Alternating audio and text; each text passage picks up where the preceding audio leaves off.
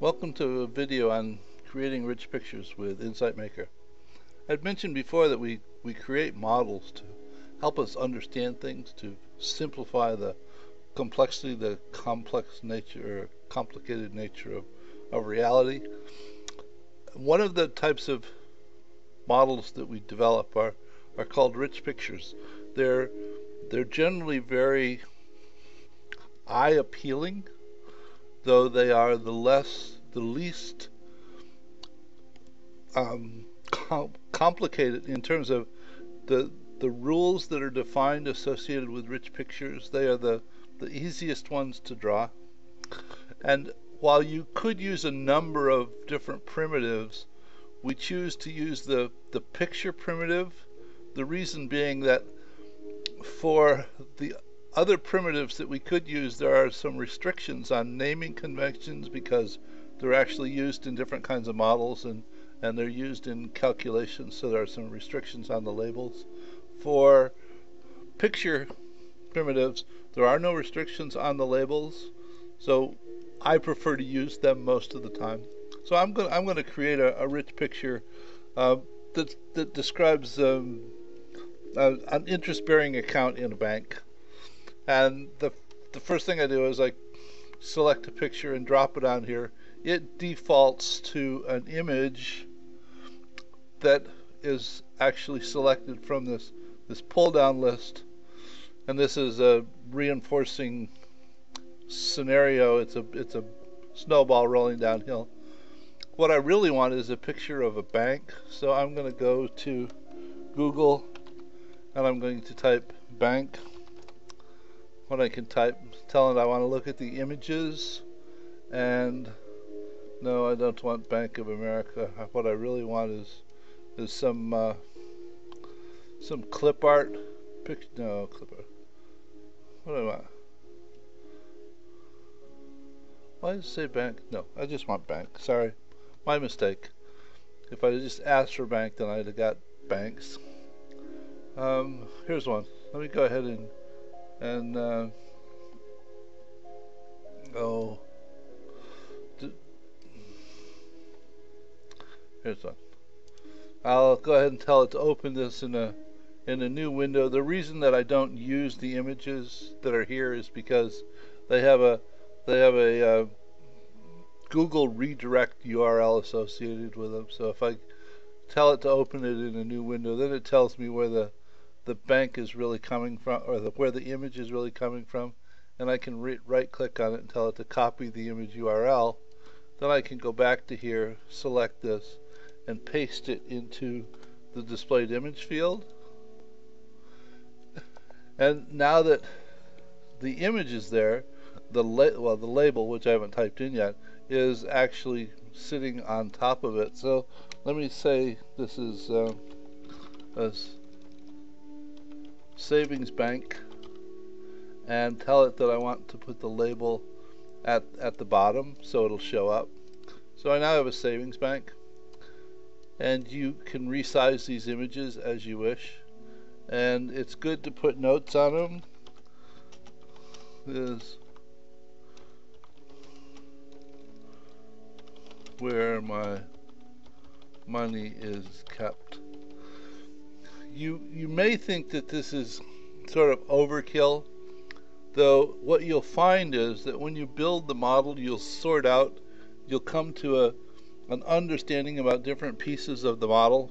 Though once once you finish creating the model and you go away and you come back to it six months later, you'll forget what all those pieces were that you you thought of while you were creating the pieces. So so make notes to yourself, and they'll always be, and they'll also be extremely useful, beneficial to other people should they uh, take should you share your model with them. So I now have some some money in the bank, or I now have a bank,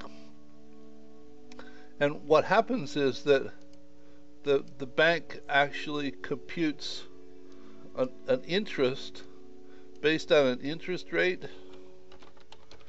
So let me go ahead and look for an image for for interest and I'll tell it to open this in a new tab and copy this URL go back here and tell it to create another picture.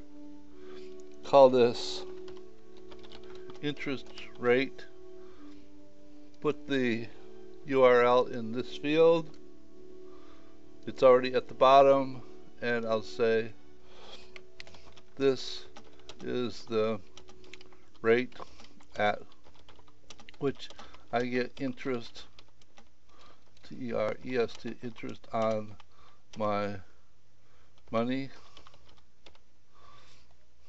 So the way that a savings account works is that periodically the the bank looks at how much money I've got in there considers the interest that they're paying me and they com compute an amount of of interest that they give me periodically and that's in the form of money. So we'll go find a an icon for money and here's a good one. We'll open this in a new tab.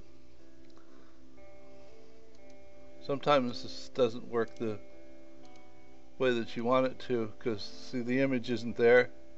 So let me let me let me try this one. There we go.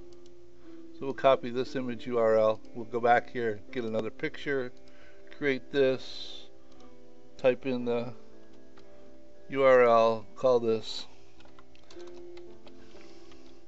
periodic, P-E-R-I-O-D-I-C, periodic interest, I-N-T-E-R-E-S-T. Typing is worse than normal at the moment. Um, the the interest I get periodically based on the principal and interest. So so I'm making notes to myself about about what how this happens. So now that I've got these pieces I need to connect them together so that I know that that the periodic instant inst interest is a function of the interest rate and the principal that's in the bank. Now, but I but the interest goes back into the bank. So rather than draw another line right on top of this one, I'm going to select this, hold down the shift key, put a little a couple of nodes on it so I can move this out of the out of the way and then I can go ahead and draw this one back select it put a couple of nodes on it and move them out of the way so at this point I, I now have a rich picture that says that oops sorry I didn't want to do that. That the money in the bank interacts with the interest to create periodic interest which goes back in into the bank. Though nothing happens unless I actually put some money in the bank. So um, let me go ahead and um, use use the same icon again but let me create another picture over here. And say call this initial deposit. Uh, money I use to start the account so there's the initial deposit and that's also placed in the bank.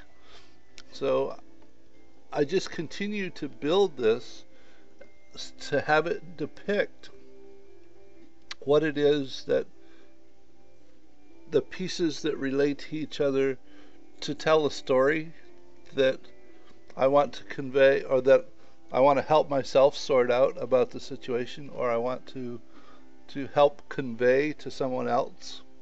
So I'm, I'm there are a number of additional things that I want to do with this picture but I'm going to go ahead and stop here and continue in the next video some some other things I want to show you about working with rich pictures. So see you in the next video.